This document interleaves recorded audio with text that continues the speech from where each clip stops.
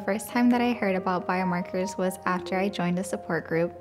One of the girls asked me if I had been tested, and I told her that I was not sure, that I had never heard about that before.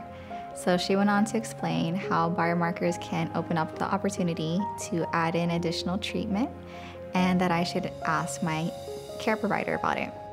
This was before I had met with my new care provider, so I took that information in um, and I asked my team about it.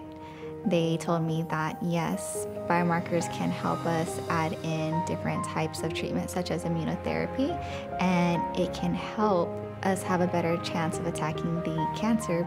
Just learning about biomarkers in general, um, it's just crazy because there's just so many different kinds for different types of cancer, and I don't hear that talked about a lot. Um, I think it's very important that we have that information out there